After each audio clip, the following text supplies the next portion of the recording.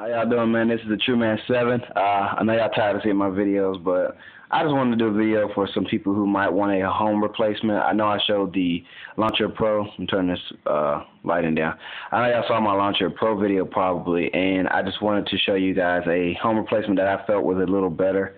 So, of course, when I find something interesting, I'm going to show it to you guys so y'all can, you know, save yourself time and trouble and headache trying to figure out, you know, something that you can use. This is a home replacement. This is not a um, rooted phone, uh, whatever you would call it, user interface. This is a home replacement. It's called ADW. It's free in the market, and you can get it uh, right now for free. I don't know if they're going to start charging for it anytime soon. So I would say go get it now if you're interested in any launcher uh, home replacements. This is running on my Droid X. I'm not going to do a video review of the phone because, I mean, I've already done that. So this home replacement, if you've seen my Launcher Pro video, is kind of similar to the Launcher Pro. Uh, there's some additions and there's some takeaways. It does not have a 3D drawer uh, for the applications, but it does have the Galaxy S application drawer, which means you can swipe from left to right, um, add groups. Um, like, let me show y'all. I have a group I set up. It's called Games, uh, and that's just all my game applications will be uh, put into one group. You see, and you set that up how you want. But I usually keep it on all groups or whatever. That's all applications. So that's the application drawer. So you don't have a 3D one. You can have the scrollable up and down one, but I kind of like this left and right swipe thing, and also get to see the background. Uh, my wallpaper. Uh, that wallpaper is actually one of the themes that you can get, which is free. Some themes cost, some of them don't. If you've had any um, home replacements, you know what I mean by themes. But if you don't, I'll go into ADW settings and theme preferences.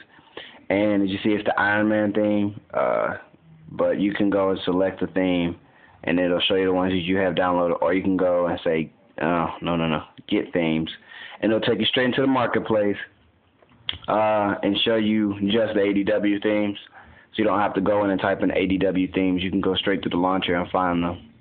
And see, they cost some of them cost money, some of them are free, and they have a long list of them. My favorite was the uh, Iron Man. It was all the way at the bottom, so you had to scroll for a while. So enough about the themes. As you see, it does have the uh, jump to home page. You can pinch to jump or press the home button, and it'll jump you to a home page. Uh, hold on, his battery's down on his airs. I'm trying to finish this video because battery's dying. You can pinch to jump. As you see, the seven home pages. They start you out with five. You can add uh, home pages at your discretion. Uh, as you see, you can add them like Galaxy S phones do, and you can also swap them left and right and choose a default screen. Um, you have the dock bar, and you also have the Nexus One page uh, tap uh, icons. Uh, the dock bar can be configured from left and right you can have a different application set there instead of just the browser and the dial pad. You can have something else there, or you can have the endless dock bar down here set for applications. And as you see, my theme changes the uh, icons, or you can use stock icons, but I like kind of like the Iron Man icons. As you see, my Google um, Gmail kind of changed a little bit.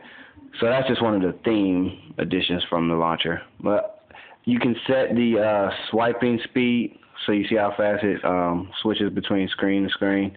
That's because I set it like that, but you can have it move slow if you want. I don't know why you would want it to move slow. Like my phone to run pretty fast, so everything runs really smooth. It doesn't lag. I haven't had lag at all, and I've had it for about a day or two.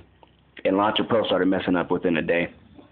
Um, as far as previous widgets and applications, you cannot use every widget. You can use Motorola widgets, but the only one I'm having issues with is the Quick Contacts widget. I can't speak for HTC. I'm pretty sure they won't let you use HTC widgets in here. But as far as Motorola's go, you can't use the Contact Quick Task, but the rest of them work just fine. Contact Quick Task just does not work, period. But the social networks and the uh, social uh, status updates all work. I haven't had no issues with those. You can size the widgets whatever size you want when you add them. Um, you can have uh, columns and rows, and that's the way you make it a certain size. Like this is a Twitter application. Let me swipe over.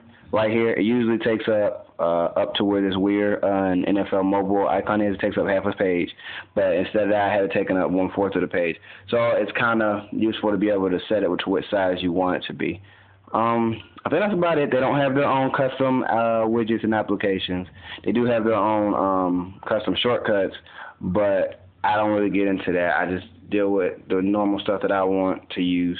Uh, you do not get this clock. This is a beautiful widgets clock. It's downloadable through the market, but it does cost money.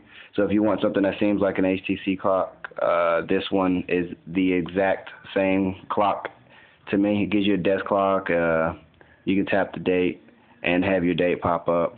I mean, calendar pop up. As you see, I don't have a notification bar. That's because I chose to take it away.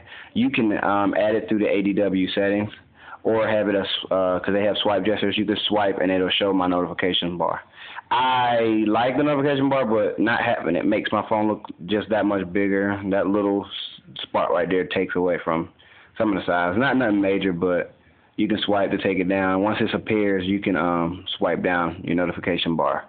So I mean, it's there or it cannot be there or whatever. You can swipe down and do anything else like launch the browser or something like that. Uh, and you can also swipe get your dock bar to show up. So that's just all I wanted to show you guys. Um, I hope y'all liked it. I hope you probably downloaded. If not, uh, whatever. If you do, then and have any questions, I'll be glad to help you out with your uh, home replacements. And as I said, this is free in the market as of right now. So go get it before they start charging because, you know, developers sometimes need some money so they can make new stuff.